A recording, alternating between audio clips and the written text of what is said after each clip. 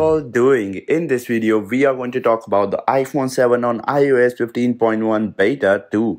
So, Apple released this update today, and if you have not really updated your device to this firmware as of now, it is available to developers. So, you need to have the developer profile in order to update your iPhone to this firmware. Talking about small changes and improvements, I have already made a video on that. If you have not checked that already, I will link it down below the like button or above in the iCard. So you can check that video out for small changes and feature. Now in this video we are going to focus on the iPhone 7 and how is it holding up on the iOS 15.1 beta 2. My name is Jai. You are watching Tech Hyped. Let's get right into today's video without wasting any more time. I keep doing these type of videos so if you are interested consider hitting that subscribe button and turn on the notifications. So on the iPhone 7 particularly there are no new features or changes in this update. Yes, there is a little bit of a small change which is uh, Wi-Fi being supported and uh, not getting dropped on some users. Some users were experiencing this, so this is fixed in this beta.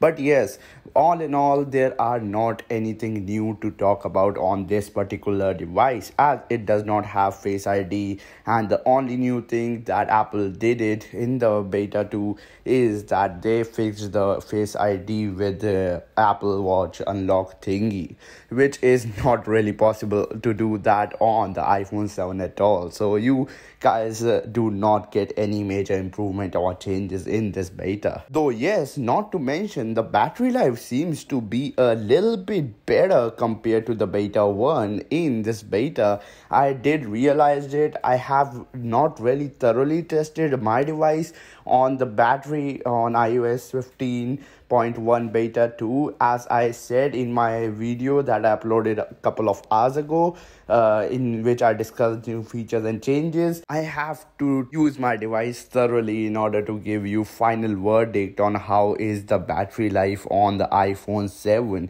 but as of now after using my device for a couple of hours I have realized that it seems to be a little bit better. So that's a positive sign you know. Also be sure to subscribe and turn on notification because i will talk about battery. How is the battery on iphone 7 on ios 15.1 beta on my upcoming follow-up video? And i do not want you guys to miss that video. Talking about the performance doing daily tasks doing daily tasks on the iphone 7 on ios 15.1 beta 2 seems to be almost the same as the beta 1 this is not a huge update at all so do not expect really big changes and improvements in this beta.